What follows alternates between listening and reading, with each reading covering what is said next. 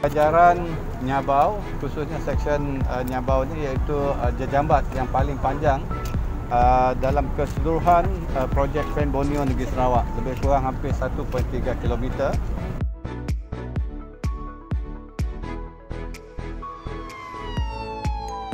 Ianya akan memudahkan perjalanan uh, dan menyingkatkan juga perjalanan dalam kawasan bandar uh, Bintulu yang sekarang ini sesak. Uh, dengan siap dan bukanya jalan ini sudah pasti yang memudahkan perjalanan uh, antara kenderaan, orang dan sebagainya dan juga merupakan satu landmark barulah untuk kawasan Bintulu. Secara keseluruhan, uh, jajaran Pen Borneo Sarawak ini telah mencapai 78%.